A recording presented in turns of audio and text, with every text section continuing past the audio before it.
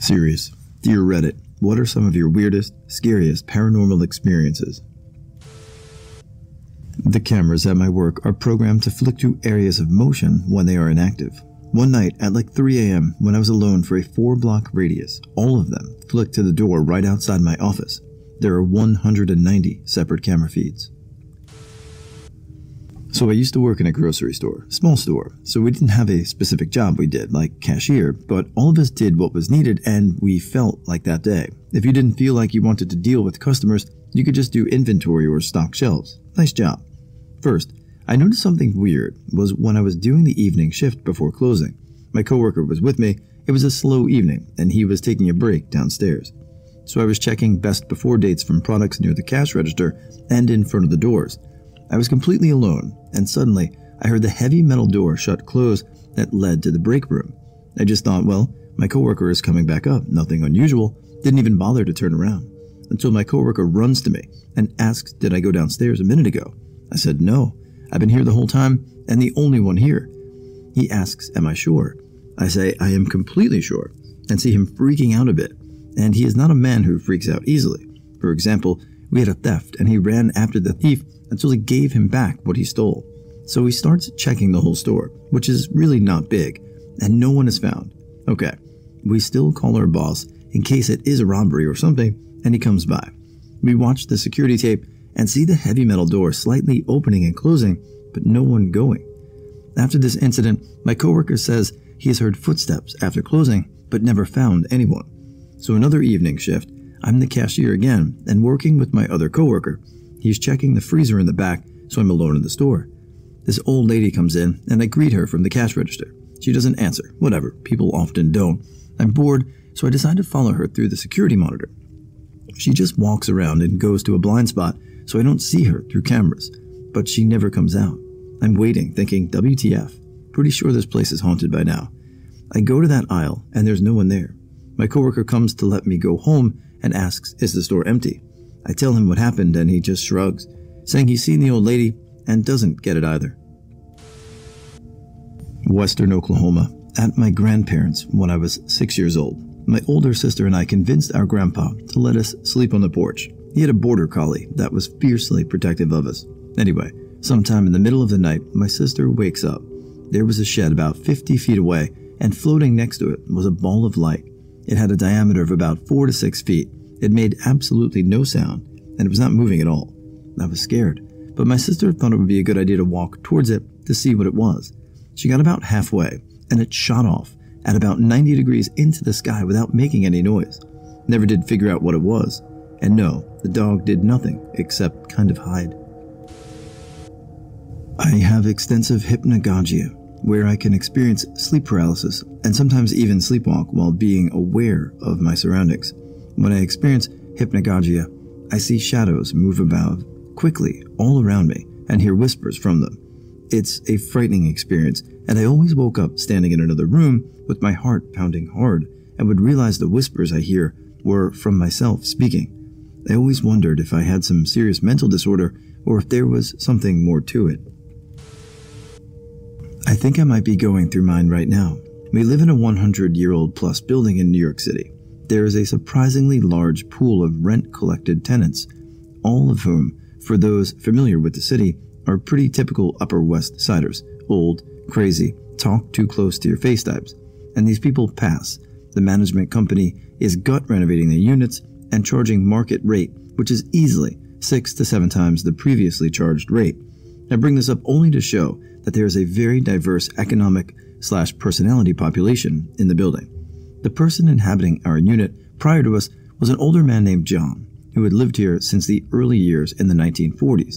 I had a chance to see the unit before it was renovated, and it was bizarre to say the least. It obviously hadn't been touched since the 50s and very poorly maintained. The man had five different rooms, all of which he had painted a solid color, including the floor. The dining area was floor to ceiling fire truck red, the living room was black, and the bedrooms were Pantone yellow, floor to ceiling. According to our neighbors, who are also recent additions to the building, he would blast opera music at 2 a.m. He was in his 90s, and his boyfriend was in his 30s, and they were always screaming at each other, and they lived in complete filth. He was well known on our block, mostly because he had lived here his whole life. So that's a lot of background. But I feel like it gives me a reason of why what's happening is happening. After the dust settled from our move into the newly redone apartment, my husband was working late and I was home on the couch. It is positioned in such a way that when I am sitting on one end, the guest bedroom door is just cut off from your line of sight. I'm with my dog doing a Sudoku when I hear the gentle click of the door closing. My dog's head perks up and he gives a low growl. He's a schnauzer, so this isn't uncommon for him if he hears any kind of unexpected noise. I get up and see the guest room door has shut. I go in. All the windows are closed in the apartment, but it's an old ass building, so I don't think anything of it. I open the door and go back to my puzzle. A few minutes later, the door closes again, but with a bit more intention. The sound spooks me, but only that I wasn't expecting it. I'm genuinely just thinking it's structural. I open the door again and decide to watch it for a bit and see if I can see where the fault is.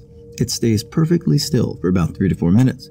I turn around to go back to the couch, and I shit you not, that door immediately slams behind me. Now, I am scared. I whip around to open the door, and it is locked. Handle won't budge. It's worth repeating that all these fixtures are brand new, which kind of feeds the argument of malfunctions, but also that it shouldn't. My brain couldn't decide. What happened next is harder to explain with just words. When I have told this part of the story to other people, I'm able to demonstrate, but I put my ear against the door. It's a cheaper, modern, single panel door, so it looks nice but doesn't feel hearty, and I immediately hear something knock on the other side, as if it were a quick tap with the backside of the hand using their knuckle. I could hear the position of the hand, if that makes sense, and the door gave a gentle vibration. This is when I straight up freaked, grabbed my dog, decided it was time for his evening walk, and called a friend who wouldn't think I was insane. I got back and closed myself in the bedroom. These kind of events continue. My parents come to stay with us one week, and we wake up the next morning, and my mom says to me at breakfast, You know you have a ghost, right? I had not mentioned our experience to others because literally anyone who stayed with us would be in this spooky room, and I didn't want them to be on edge. I go totally numb when she says this. I ask her why she thinks that, and her response was, I saw him. He was sitting in your desk chair. I don't think it's a mean ghost, though. He seemed very old. I couldn't engage in conversation further. My grandfather had been in World War II and told us about when himself and a few other soldiers had been separated from his unit and were trying to get to Normandy. They had gone through a clearing in a wooded area but had to drop when they heard something approaching. They were on their bellies in low grass when they saw a 20 or 30 German soldiers running across the clearing, clearly in a state of panic. Then they just froze in mid step. He said they resembled statues, and that some weren't even touching the ground, and that there was no noise whatsoever. Even the birds had gone silent. After a few seconds came a loud noise, like metal scraping on concrete, and the frozen soldiers started to become blurry to the point at which they vanished without a trace. This had been reported by all of the soldiers that were present, and all were called to the War Office London after their return to the UK. There, they were pressed on what they saw over the period of a few days and were taken back to the same spot in France shortly after the war had ended. Surprisingly, when they got there, there were other men sharing the same accommodation who reported similar occurrences in the exact same area. They were all taken to the woods and had to describe where and how the events took place. My granddad had said that the entire area was guarded heavily and that part of the ground was heavily excavated. The strangest thing of all, the other thing he said, was that there were hundreds of dogs in the area, just milling around for no apparent reason. They returned to the UK with a gag order, ordering them never to speak about any of this. He went back to the same spot in France before he died in 1985 and said the area had been covered with unmarked warehouses and was guarded by an unusually professional security company. He reckoned they were military. Me and two friends go down and rent a boat on Lake Okeechobee in Florida. We get a 30 foot pontoon boat that has a cover, although there's no cabin or anything under the main deck. It's winter in South Florida, so it's cool but not cold. Thus, we decide to just sleep on the boat instead of setting up a camp. We plan on spending three days and two nights on the lake. We spend our time drinking, fishing, and playing games. It's sometime on the second night when I just wake up. I'm still drunk from our previous activities, but my senses are on overdrive, and I just feel aware of something. I was sleeping towards the back of the boat, while my friends are at the front. It's eerily calm with no waves in the water. We were about 250 feet from shore with land on our port side. I started scanning the tree line looking for something. Nothing on land, so I scanned the water on the port side. Nothing. So I scanned the water aft of the boat. Nothing. I didn't want to disturb my friends up front, so I scanned the water on the starboard side. That's when I saw it. A skull floating in the water with just the eye sockets and part of the nasal cavity sitting there in the water, looking right at me about 50 feet away. An immediate sense of dread took me. It was the most scared I'd ever been in my life. Then, an even worse feeling took over calmness and the sudden urge to jump in the water. I had the notion that I would be at home and at peace if I just jumped into the water. Before I could act on it, I think one of my friends stirred in their sleep because I heard a beer bottle start rolling near the front of the boat. This snapped me out of it, and the feeling of dread returned. I yelled at them to get up while I moved to start the engines. One doesn't respond at all while the other drunkenly tells me to fuck off. I yell again that I'm not fucking around and nothing. I'm about to pull the starter on the engine slash yell again at my friends when I hear something. I freeze and listen closely, a very faint splashing sound that is slowly getting closer. I forget about yelling at my friends and focus on starting the engine. I pull and pull and pull on the starter and nothing. In between the pulls, I hear the splashing getting closer, but I don't dare look at the direction of the noise. Finally, the engine starts and I punch it out of there. I must have gone 30 miles before I came to a stop to conserve fuel until the sun rose and my friends woke up. I spent the rest of the night scanning the waters just in case. I had to make up a bullshit excuse to explain to my friends why we were so far away from our previous spot. I wanted to tell them, but I doubt they would believe me. When I got home, I did some research, and apparently Native American tribes possibly used the lake as a burial ground. Plus, there are thought to be the bodies of many victims of hurricanes throughout the decades laying in the lake. Fishermen have found many human bones over the years. This was over six years ago, and I've yet to set foot near any body of water larger than my shower. No lakes, oceans, rivers, water parks, pools, hot tubs, nothing. I don't blame you if you don't believe some random guy on the internet. Many times I tried to write it off as my drunk self seeing things.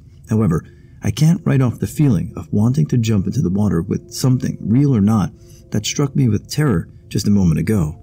Thinking about that feeling of wanting to go into the water with whatever was out there chills me to this day. My grandmother got a call from her son. He was telling her how much he loved her and that he will be going away. The phone was cutting in and out. This was before cell phones. My grandmother thought this is weird and is out of his character. This was at 10 a.m. Right when she hung up the phone, two police officers showed up at her door. They told her that they are sorry to tell her that her son died in a motorcycle accident at 8 o'clock in the morning. My grandmother said that it is impossible that she just got off the phone with him. Somewhere during the mid 90s, when I was still in elementary school, my mother and I were sorting through old junk in the attic. We were sitting side by side in a closet that contained these removable panels that allowed access to the attic space on either side of the closet. We had dusty old junk all around us. It was the middle of the day, and we were the only two people in the house. Neither of us were speaking much as we were too focused on all the old junk we were discovering. Out of nowhere, I clearly heard what sounded like a small child's pleading voice exclaim, Mommy, I don't know how I managed not to shit my pants. I was immediately terrified. I was frozen in place for what seemed like an hour, but was probably only a minute. My mother looked me in the eye and asked, Did you hear it too? I said yes. We never spoke of it again.